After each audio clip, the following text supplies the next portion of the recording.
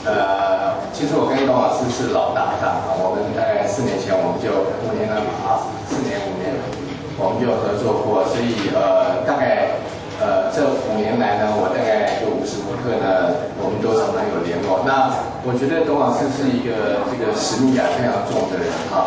呃我我我说他是书法界的国父啊，也不为过。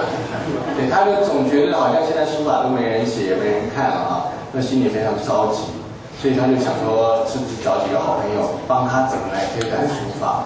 所以大概我也是这样子的心情来做这样子的一个装饰。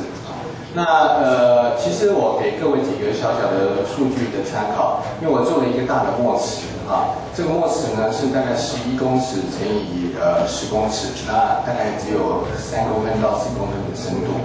那原来我跟董老师两个想说，大概我们只要一点点墨汁就可以了。那我们就找了那个雄狮美术呃雄狮文具啊，呃李英文李先生来看有没有帮我们帮忙，然后在在几天前一起计算下来不得了，要三吨的墨汁，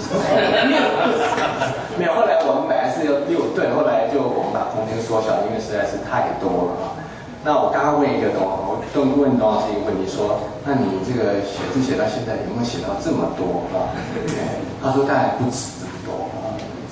那非常多哎，真的真的，只要是六吨的话，就很可怕啊。所以待会儿等一下，各位呃到呃我设计那个空间里面去呢，呃除了看这个墨池之外呢，我觉得还有一点点比较特别的是，我们在里面加了香味啊。因为我们知道，其实以前我小小学写字的时候呢，我觉得墨汁好臭，对呀，